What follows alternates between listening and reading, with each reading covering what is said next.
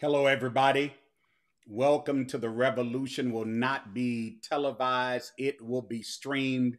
This is where we have the conversation about life and leadership in the digital age. I'm Dr. Ricky Allmon, along with my fellow host, uh, the Reverend Stephen J. Thurston Deuces.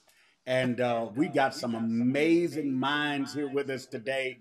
Uh, doing the intro, if you heard somebody talking, that was uh, my brother talking to his daughter, trying to get people together. So uh, that that's the wonders of live streaming. Just like right now, I got an echo that I've never before. This out.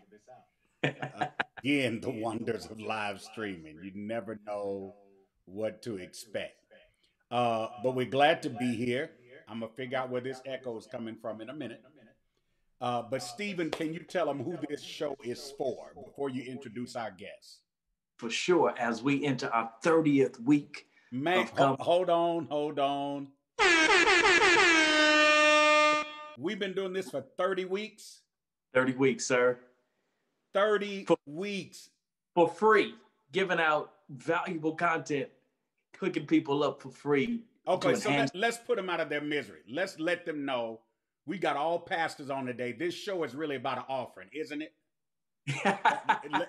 you no, know, whenever preachers get together, it's got to be an offering involved. Nah, we're just kidding. But There's man, no offering in. We're not selling cloths, no. water, press shawls, nothing. We just dropping nuggets that will.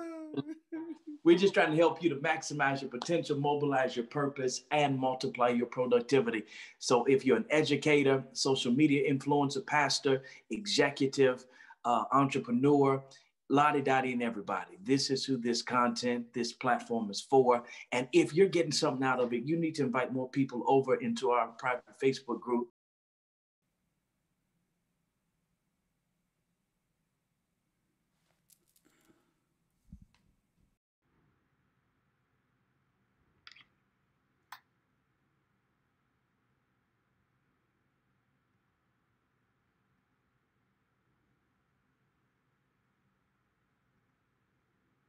not here.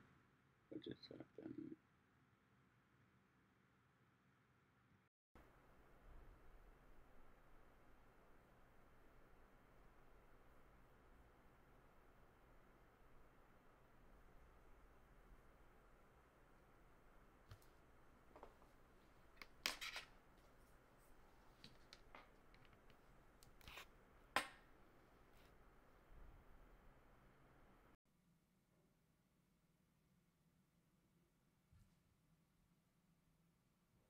As Rick is working his piece. Man, this this is what happens when you're out of town and you're away from all the stuff you're used to. So this is this is the twilight zone. In 30 weeks, this is the first week that I'm away and doing this show. So God help us today. Thank you all for your patience.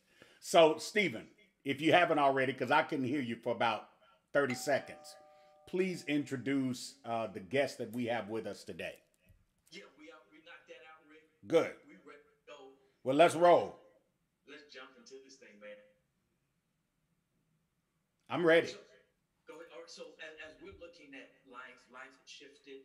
Uh, people are not going back to the normal context in which we've come from. So if you're still thinking that you're disillusioned, I'm gonna need you to get off the drugs you're on and step into the reality of things. Especially those who serve in church ministry. Church, as we knew it, is gone. It's dead. Be a resurrection on the third day things have totally shifted. And I've got some guests. We've got some guests today uh, who we're going to pick their brain, allow them to serve as as a contextualized surgeon to help us to cut through uh, what's happening, what should be happening, and what they've been doing to serve as effective mouthpieces in this to serve this present age, uh, an age that we an age an age that just slapped us upside the head around about February. Uh, so we, we want to hear from you guys. Pastor Stowers, what is it that you've been doing? What is it that you had to change and adjust as we've shifted into this new place called a pandemic as relates to pastoring to serve as president? Amen. Thank you, thank you all again for this opportunity to to not only uh, share what God's doing in our church and ministry but to also learn and to, to be sharp and to be challenged. So again, it's an honor just to, to hang out with you younger guys. Since I'm the old dude on the platform, and um, well, when I when I think about uh, what's going on, I, want to I want to put a frame around it, and Sure. putting a frame around it allows it to make sense as to how we're actually executing. So we when we look at what's going on, and we taking it straight out of Scripture, being a uh, modern day uh, son of Issachar, call them sons and daughters of Issachar, the people who understood the times, the discerners of the times, and as the text says in Second Chronicles, knew what Israel ought to do. Those who have that ability to keep their finger on the pulse of the moment and then plot a strategy to effectively look at it. So when COVID hit, prior to that, uh, we had been praying and sensing, okay, God, where's the next wave? And the reason we went that route because we don't create the wave. We swim and ride the wave God creates. So in looking at COVID, uh, it's not just another for us a get uh, season, a get through moment.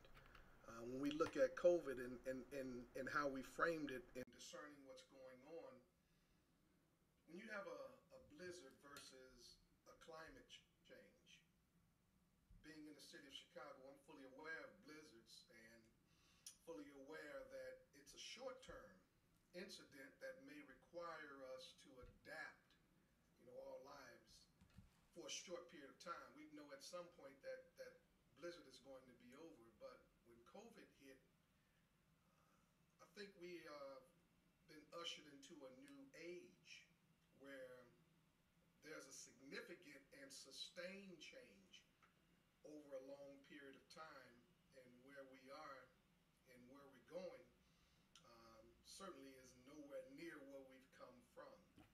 So the first shift, of course, was the mindset shift, understanding that this is not something we get through. This is something that we lead through, and, and leading through it requires some strategic shifts uh, in and around our church, and first and foremost being that having that ability to pivot. Uh, when we look at ministry today and, and, and where we're going, it's platform based. Think about what's happening in the world, uh, the largest taxi company, uh, Uber, does not own vehicles. Uh, the largest uh, hotel or Airbnb does not own property. And and looking at those industries, one word comes to mind: disruption. So discerning the times, understanding we're going into a long, sustained season of change, understanding that change through disruption. First goal was to help educate our leadership team on how to pivot. So I can talk a little bit more about strategy and how we did it a little bit, but I wanted to put the frame around what precipitated the execution. Sure. Pastor Stephen, before you move forward, I, I want I want to talk to something right quick, Pastor Stowers.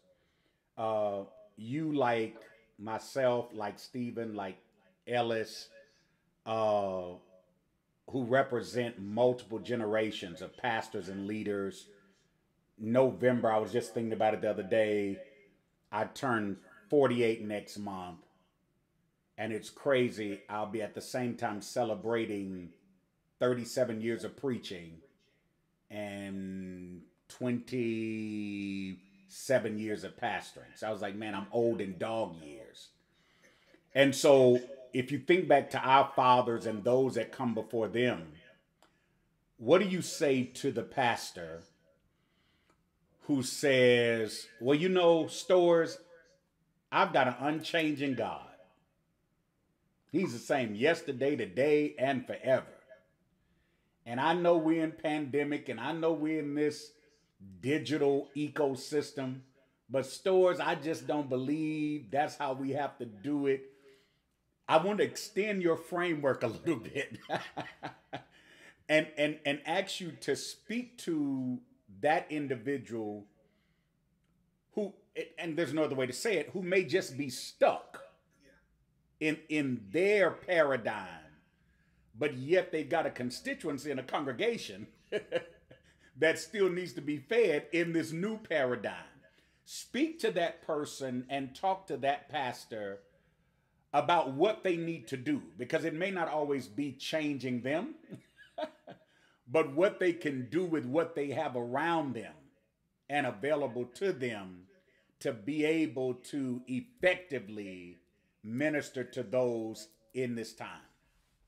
Excellent, excellent question. And you're absolutely right. Pastoring a multi generational congregation, we had those exact same conversations uh, as we were navigating ministry post, well, during and post COVID. Two passages come to mind that, that help frame the reality for, for those of in our leadership team who stuck. John 4, uh, when Jesus has this conversation with the woman at the well, the issue was worship. That you do it, but Jesus never said how you do it. Yeah. Two different, two different distinct instances. Fast to Great Commission. Go therefore and make disciples, baptizing them, teaching them to obey, etc. Jesus said, This is what we do. He never wrapped a frame or a model around how we do it. So going forward in, in, in this season, we have to keep our finger on the pulse of the moment and do what Jesus said, the because Jesus understood that methods would come and go, Right. strategies would come and go. And don't get married to the strategy, but stay true to the, miss, the mission and the essence of the mission. That's good. Oh, yes, sir. so, so, Bill, what what has been some of your strategy um, shifting your people? Again, as Ricky just alluded to, you got people there who have been accustomed to how your dad did it, and how your dad did it for so long and did it so well his way, and they may have that mindset: if it ain't broke, don't break it, don't touch it. So, what have been some of your strategies to shift your people and to lead your people uh, towards success in this space we're in? So, um, thank you, gentlemen, and Pastor. I love how you frame that. Um, looking at the strategies, uh, part of part of, of of my strategy and a snapshot has been when I came in very directly to what you just said. We're all coming behind, you know, in our lineage and our legacies that we have to now establish on our own. So it's the fourth pastor of an, an, an almost hundred year old fundamental apostolic Pentecostal church. Um, so for me, my strategy started four years ago when I came in the door. Um, number one, it was like you just said, I don't do it like my father does it. And I always say it like this my daddy is your favorite preacher's favorite preacher, you know, in our context and matrix where we come from. But I, I don't I don't do that like that.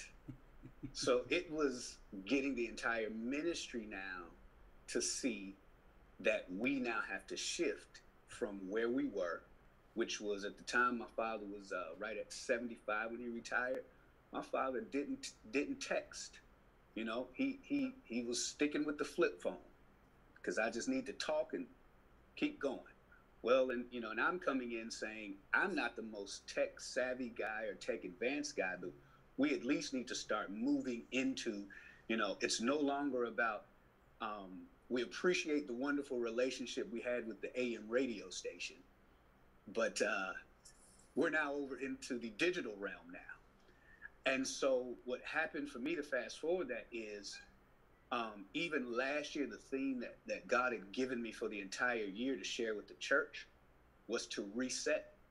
And that's to reset from things that no longer served our purpose and now reset ourselves to move forward with the things that we need uh, to move forward in God. Well, I didn't know that on March uh, you know, the beginning of March, the pandemic was going to hit, and on March 15th, that was going to be the last time we were in church. And now, whereas I was trying to use uh, the timing and the discernment and the wisdom of God, because when you take over a ministry, you know, it's a it's not a speedboat, right? It's a cruise ship.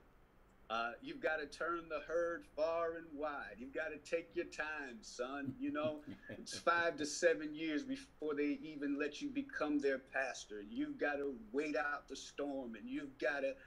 Well, I'm gonna be honest. I came in and said I ain't got time to wait. You know, I, I didn't. I didn't get started as a as a young pastor. I came in approaching forty, and getting started in the pastorate. So, um, to say that now is the pandemic has just put us in the position to say now we've just got to mash the gas on our focus. And I was trying to wait until we got to our 100th year celebration, which will be in 2023, to do all of this kind of foray into the new way. And, you know, uh, but no, you know, God mashed the gas on that. So now we've got to reset. And so for us, that means uh, we had to move from being a church that was known as when I came here.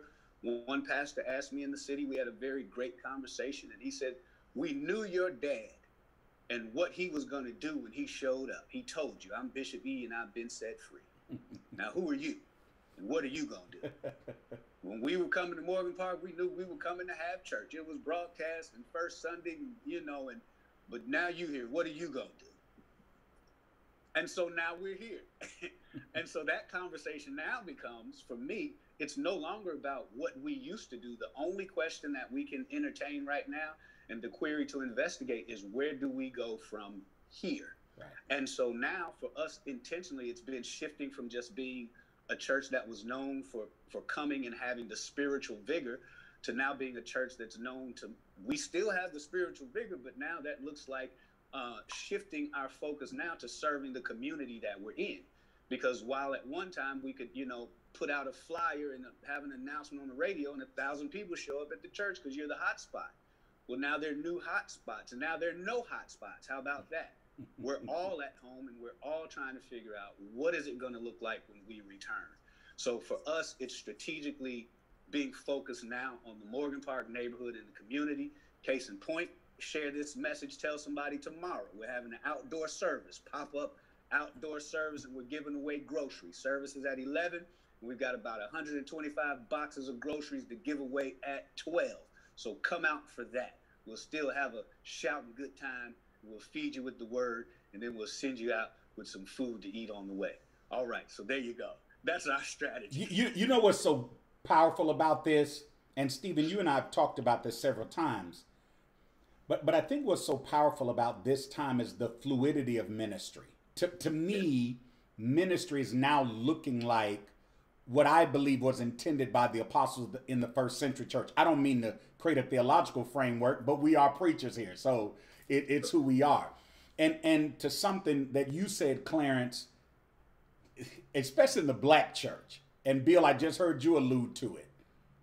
This whole concept of worship now is being not reduced, but it's being deconstructed to its least common denominator because now we don't have the luxury of the B3 organ.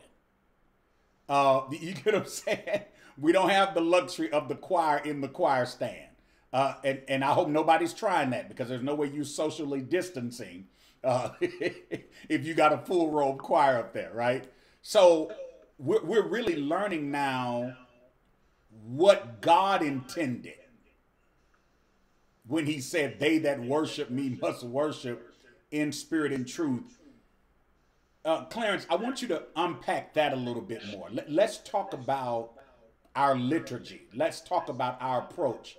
Uh, when Stephen told me about you, I had the opportunity uh, to go back and watch some of your Sunday uh, services. Quite provocative indeed.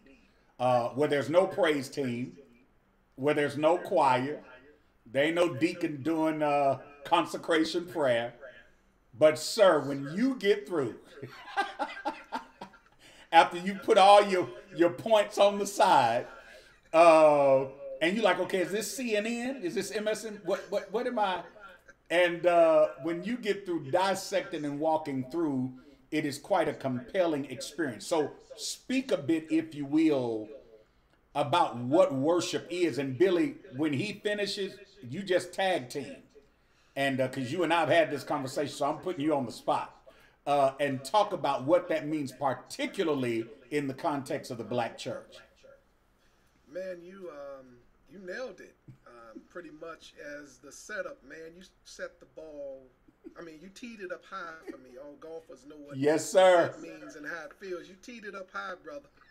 Well, I, I know you are an avid golfer, so I know who I'm talking to. yes, sir. I thank you. You teed it up well. Yes, sir. Thank you. You you used a word, and when you said it, man, something leaped in my spirit. Mm. You said worship deconstructed, and one of the things that I highly believe that in the midst of the deconstruction, there's also decentralization, where it is no longer focused on uh, who's on the platform or who's the worship leader or worship leaders, the choir director, etc. Which again goes back to Jesus saying, uh, They that worship must worship in spirit and in truth. So, what happens when the model is removed and you're left there to get vertical to play to that audience of one. So, in the midst of COVID decentralizing the church, worship is now in the hands of that person in the household, maybe the head of the household. Uh, those who are watching are now taking full ownership uh, of their purpose. And I don't know what happened to, to my video. I don't know. That's weird. That, that's weird right there. Let me. Uh, Something doesn't want us to talk today, but we're yeah, gonna keep, talk about worship. Keep man. talking. We can hear you. but you can hear me, okay? We, it's got you in the matrix, but you all right. yeah, yeah. Let me uh, take that off and yeah, uh, keep talking. to it. Keep talking. So, yeah. Think about this, and now that it has been removed, the actual focus on worship being person driven, it is now believer driven. It's it's centric and central to the believer. So now, where do we go? How do we continue to play to that audience of one? And so now worship is now brought back into the home of each and every person as opposed to it being focused primarily on who's on the platform. And in addition to that decentralization, now imagine that father in his home leading worship. It's not wrapped around pomp and circumstance, it's wrapped around authenticity, truth, and honor. Man, you just. She, go ahead, Stephen. I, I, he, just so smooth. Yeah, but he just said, you're right. he just did a whole commentary on worship. because here, because here's the thing, Clarence, that I think is so critical. What's so critical is not only has it become believer centered, but I feel like it's finally become Christocentric again. Hmm. Be- because it, it appeared that worship pre pandemic, like you said, was had become a little iconoclastic. Can we say it that way and be nice about it? you, you, know, it, it, was centering on personalities. Yeah. Uh, and, and now it's really centered back on that vertical, like you said, that audience of one with the believer uh, and and their God. Um, this decentralization. Uh, Bill, I need you to carry this because you've talked about this, and then I'm volleying back to my my fellow host, and he can carry it to the end. But talk about this decentralization and the fact that what we've called the house of God. You know, that building. I'm going to the house. Never mind, the Bible said our bodies are the temples of the Holy Ghost. Never mind, the Bible says that God doesn't dwell in temples made with hands. I have literally, nah, never mind. I can't say it. I'm to get in trouble. Stephen, you know I was about to go, and you were to let me go there. That's shame on you for letting me go there. You were to. Bill, before I get in trouble, talk to us, please uh, Clarence has just given you a, oh Lord, a Miami Heat alley oop from last night. Uh, you know, I'm going for the Lakers, but Miami is doing their thing. Uh, he just gave you alley oop. Talk about this decentralization of what we know as the institutional church. Pastor Stokes was so brilliant, right? Um, in his in his sagacity and his seasoning. Right, just gave uh, us so a whole me, thesis. Yeah, let me be the, the the kind of reckless older younger brother down here. Okay. With, with Reverend Thurston. well, so decentralizing, um, deconstructing, for me, it looks like this. Um, uh, I'm getting ready to talk about. I'm been, I'm talking about the Good Samaritan. This series, Fix the Road, this month, um, and it's looking at studying about the Good Samaritan, just looking at the Samaritan history and that kind of thing. Going back to Jesus meets the woman at the well. She's a Samaritan, and they get into a conversation about worship. Right? Where are we gonna? Where is it supposed to happen? Where's the proper place to do it? Because you do it in Jerusalem, but then we do it. You do it the the colonial Jewish way and then we do it the uh, fundamental Samaritan way. So, what's going on here, Mr. Jesus? And Jesus is coming talking about a new way to do it. He says, Well, there's coming a day. It's now, this is the conversation to establish the revelation of a day that's going to come when it doesn't matter where you worship, what's going to be important is the posture of your heart when you do worship. And so we found this place now. Well, like you just said, ain't no ain't that you have no you have no one to assist you in your intimacy now. No nobody don't get mad at me, but no if if we've used this term in church, I hate it. Sorry you know, we get to adore and make love to Jesus with oh, our worship Lord. and all of these oh, colloquialisms Jesus. and yeah. pour out your love on him and I mean, I get it. I, I, understand it. There is some theology somewhere in there that so people Bill, use to justify it. Bill, you're saying that we have no spiritual KY jelly anymore. I'm saying. Oh, oh Lord, here we go. Okay. Oh Jesus. yeah, That's what I'm oh, saying. Lord, there's, Jesus. There's, there's, nobody there to help you. No spiritual lubricant. Wow. The anointing or the oil or the lube that you need to enter. So we don't get to pull on the anointing anymore? No, it's not there. There's nobody Man. there saying, come on, do it, come on, help you. Y'all I mean, better clap. watch some of the most wonderful programs, and now it's the Netflix for church, and there's some amazing worship moments from everybody. I get right. that.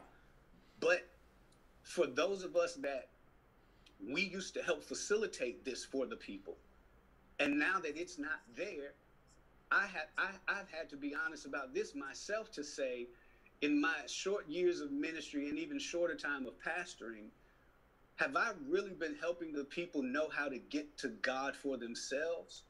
Or have I just been helping to perpetuate the program that has been continuing to anesthetize them from really dealing with the true reality of what they're going okay through. repeat that repeat that whole statement right there one I, more again by, by I, that was revelation i don't know it just no out. but are we but are we are we really helping people people get to know god for right. themselves yes. this this is a personal testimony and i'll keep it going because my worship had to become personal mm. because I knew what to do in church. I played, I in, in, in, uh, played instruments and helped to facilitate the program. And we are worship leaders in every setting we get into. But for me, I found my true personal worship when I built my relationship with God during a season where I was outside of the church. Wow. So the pandemic really is a blessing for me because my relationship with God does better when I'm away from having to deal with the uh, responsibility of the call. And so now, to say that, it also makes it even more important because now I've got to have my own personal worship time so that I can be prepared to now deal with whatever we have to deal with in a unfamiliar territory as it relates to leading God's people. I'm out. Like that. Okay. Yeah, that's real good, sir. Yeah. As we move to close this thing out, this is good. Rick, we'll have to continue this conversation. Oh, conversation. this is there will be a part two. yeah, got to. Yeah, there's a part two of this already. Because the en- look, I hate to go churchy, but the enemy didn't want this one today. Th- There's a part two to this. Yeah. So, Bill and Clarence, you all talked about newness. So let me throw this. It's going to be a two-part question. What do we do with the building? That's good. That's that's question number one. What should we do with the building? Question number two: If there's a leader that's tuned in today that's just kind of lost in terms of their creativity, they've hit a block, and they just need something kind of innovative to infuse into their work. Give them a suggestion, an idea that could illuminate the path for them. Uh, something that's going to take them totally outside of their context, outside of their comfort zone, that they can try to kind of push this thing forward and remain current with where we are, where we're moving. I want to go first so Pastor can close. Okay. Quick. Here's here's here's here's my posit on buildings. If you are carrying a significant mortgage, turn your church into a community center. Learn how to turn your building into a position where it can generate revenue. For the creative people, uh, I'm I'm challenged in that creativity. I'm gonna just say it. YouTube is amazing. It'll teach you anything you need to know, because it ain't no church development conferences and leadership conferences going on and church growth conferences going on right now. So YouTube will help stimulate your creativity, and also, last but not least, talk to the kids. Find out what the young people like. What's hot, the colors, the the, the schemes, the all of that because in this virtual space they they they are born into it so let Right. them start leading And y'all wrong. That's how that's how y'all do the old guy. that's how y'all do the old guy. First of all, first of all, we need to see your birth certificate, Stowers. We need to see a birth certificate. Don't come in here with this old stuff. You looking as young as all of us. Stop playing. Oh, Right. Man. Oh man. You know, I, I know you've got children uh, that have graduated from college. We know, but don't come in here with that. That's why we're doing you like this, because you're an imposter for the old people. There it is. Oh, I'm, I'm, I'm hashtag apostle for the old people. I got it, man. I got it. Yes, man. That's why I hang around you guys, man. Y'all keep me young, keep Good. me mind sharp, all of the above. And um, since I am an imposter for the old people, you know we like to put frames around things uh, and, and, and and build that runway. Um, the building, wow, the building, and I'm I'm I'm probably about to lose um, the two or three people that finally found out who I am. They Oh, probably wow. stopped liking me right about now. Um, I have some very radical views uh, when it comes to to the building, and I don't think that we've really uh, stepped back to to look at what we can do since we've been out of our building since March uh, 15th. Uh, that hasn't stopped us from having pop-up experiences in facilities that are way more modern, way more efficient uh, than what we have. So I'm thinking buildings are going to have to be repurposed. Right. Uh, matter of fact, um, we sold our building. Sold it. Wow. Yeah, sold it. And um, yeah, pretty radical, isn't it? When did you do Sold this? it. Just signed a contract last week. Wow. Sold it. Congrats, man. Thank you very much. bless you doc yes sir sold it. And so now, um, again, we can have conversations about this because I definitely want to give my, my tip. Um, so the question now is now that we are fully devoted, and that's why you see that hashtag Mars Hill Anywhere, we're fully devoted to our mission, and that is helping people find their way back to God, but yet fully digital. Meaning that we're now no longer restricted to 5916 West Lake Street. So therefore, we've turned our small groups, as I mentioned, decentralization, we've turned them now mm-hmm. into microsites, meeting now in 15 different states. And I'll talk about that a little bit later. So for us, the building was our hindrance because it kept us locked into a locale. Now that that restriction has Pause been right there, Clarence. Pause right there. Remember where you at, Stephen. Here is their part two. The church gone wild.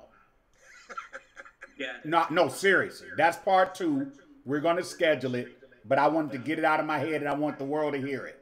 So, Bill and Stowers coming back because the churches went wild in a good way. Continue, sir. I'm sorry for breaking Hey in. man, I love it. I love it. And I'll fast forward. Let me get on to No, where I came no, go through it. Take And, your time. um, right now, we're no longer restricted, and for a guy like me and my leadership team, that's dangerous because we're no longer hindered by an anchor. Right. That anchor has been pulled up out of the, the ocean because that's what we're navigating on an ocean now. hmm And that anchor is now in the boat, so wherever we decide to drop that anchor becomes the spot for that moment. And think about how Wow. Jesus did it. Wow. in Acts chapter 2, Acts 4, Acts 6, Acts 7, talks about how they filled up the city because they were not tied by anchors. hmm They pulled up them anchors and went wherever they need to go. So for us, you give a person who has vision, match that with adaptive leaders, which I'm going to close on that, and then with resources. You know, our goal is to have 1,000 microsites in 50 states in five years. And we can't do that if we're pouring 70 to 80% of our money into anchors. And then my um, advice of one thing that you can take away, I'm huge on that. In COVID, you have three types of leaders. You have direct directional leaders where they take the same leadership approach to a situation not going to work. Then you have situational leaders where they adapt the leadership model to the situation that ain't going to work. Mm-hmm. Today we need adaptive leaders. These are the leaders who first observe, then they interpret, and then they put together a plan to execute. Because as things change quickly, then you have to be able to adapt quickly. So be adaptive rather than situational or direct. Preach, Yes, sir.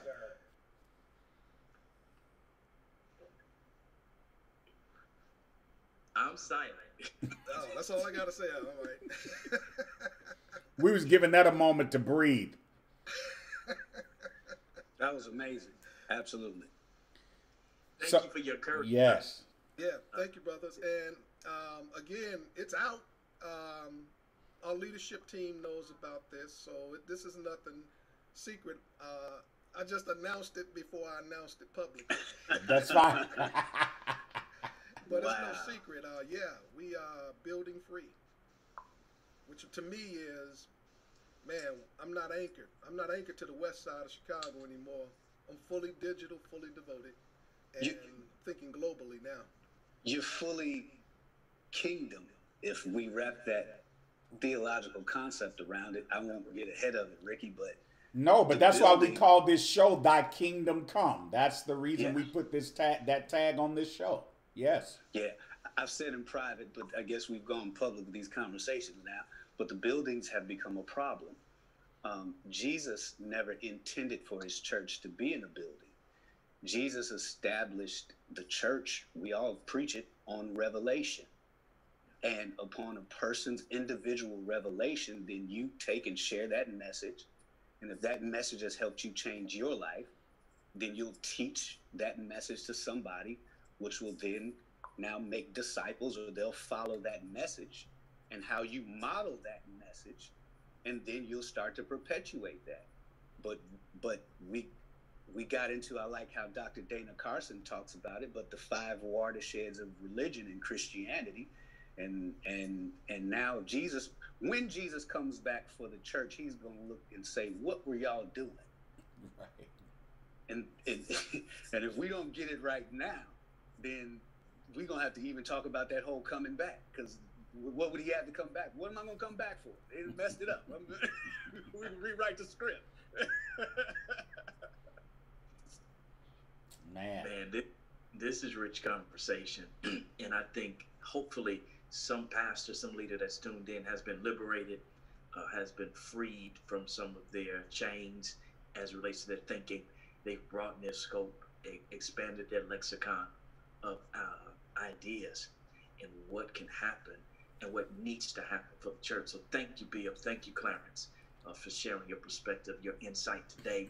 For those of you who've tuned in, we really need you to share this information. You get somebody else plugged in, some other leader, your pastor, tell them they need to plug into this so that they can be encouraged and inspired.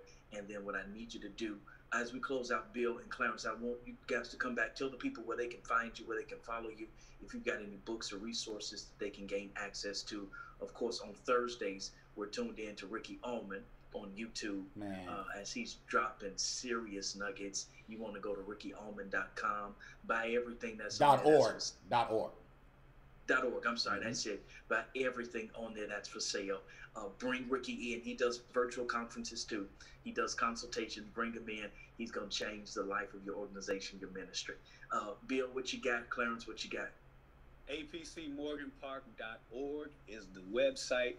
Uh, Facebook Live, YouTube Live on Sunday at 11 a.m. and TNT on Tuesdays at 7:30. It's Tuesday night teaching, Tuesday night talks. We talk about the Bible and talk about spiritual truths. I'm going to have Ricky Allmon as my special guest on this coming TNT this Tuesday night. We're going to talk about how our theology informs our politics on this Tuesday. Oh, God, help us. Good.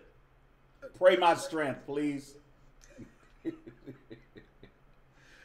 man, excellent. And following up, same here. Uh, we're streaming live every uh, Sunday at 1030 on Facebook at Mars Hill, Chicago, and then also simultaneously simultaneously on YouTube at Clarence Stowers TV.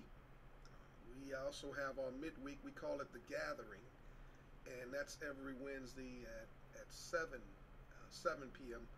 Stream both places. We also have uh, our on-demand streaming, uh, sort of on Netflix type experience for people who want to catch it later in the week, and that's at marshillonline.tv. You can check that out of uh, messages as well. So that's where we are, and hopefully we can connect in some capacity.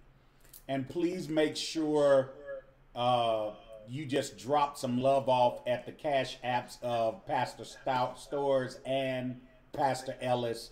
Just stop through, encourage them. Uh, the churches literally went beyond the walls. I mean, that's that's almost without saying now, uh, and I believe it's it's supernaturally intended that way. Stephen, you have the mirror moments movement. Uh, you, you, talk about purposeful madness.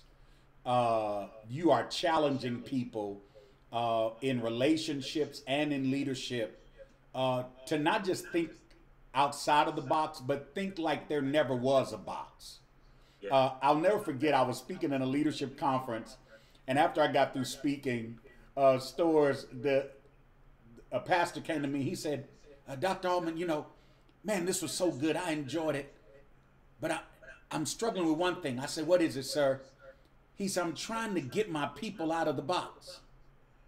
I looked at him. I said, So who put them in it? Mm. And he started laughing. He said, I, I get it now. I was like, yeah, that's why you got to take home what you heard. to get them out of the box you put them in. Well, that's what the mirror moment movement is uh, with Stephen Thurston. Go to StephenJThurston.com, register today, join that movement. He's on every Tuesday afternoon at 3 p.m. Uh, you don't want to miss it. Uh, he's got two books out, one that's in hard copy and digital uh, called Mirror Moments. Uh, the other book is digital called Unplugged, uh, but connect to him. Uh, he's a consultant, he's a project manager. Anything that you're trying to get done, he can show you not only what to do but how to do it. So make sure uh, that you stop by uh, his page, see what he's doing, and allow your life to be transformed.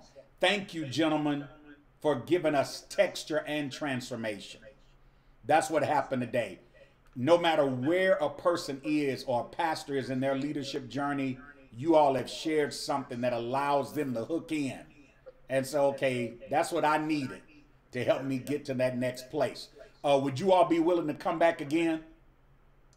Oh, absolutely. Please, yeah. please do. We, we, Absolutely. yeah, we would love to have you back. Well, Stephen, it's yours to take us out of here, man. Cool. Well, it's our desire that you would have an amazing day. Again, connect with us in the Facebook group. All you got to do is answer a couple of questions. We want to make sure we got the right people and not imposters in that space. Right. Answer those questions, get invited in, and then plug into all the resources that we have. Until next Saturday, y'all have an amazing day.